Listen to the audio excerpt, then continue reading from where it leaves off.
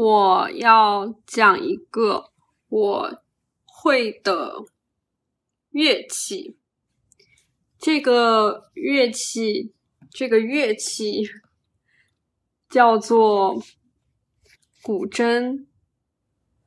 它是一个这，它是一个很长、很长的，然后长长方形，有点像长方形的一个弹奏的乐器。它长这个样子，古筝长这个样子。它中间有一排可以移动的叫码子，然后。琴弦就绷在这个码子上，它一共有二十一条弦。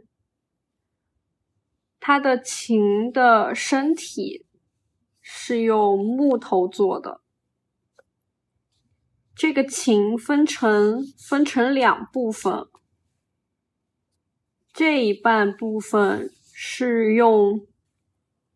是用右手弹弹奏的，另一部分是用左手，是只是这样按压。弹奏的部分会带上一个假的指甲，而按压的部分就不用带指甲，就用自己的指甲就可以了。那这个带上的会用一个胶带缠上假的指甲。假的指甲是用乌龟壳做的，它也叫玳瑁。其实它就是一种乌龟背上的壳做的一个假的指甲，然后绑在这个手指上，这样弹奏的。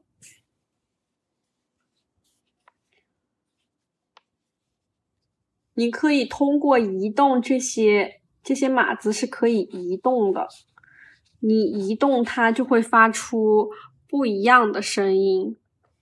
你越往这边移，它的声音就会越高，因为它绷得很紧。然后你往另一个方向移动，它就会变得很松，然后它的声音就会很低。所以这个琴的声音是可以。根据你的调动而调动的。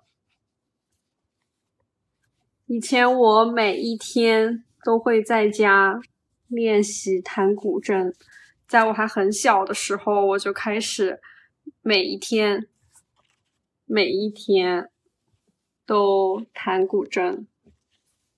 这是一个比较少见的乐器。而且它的琴头一般会，这是一般这边是琴头，这边是琴尾，评委会画一些图案在上面。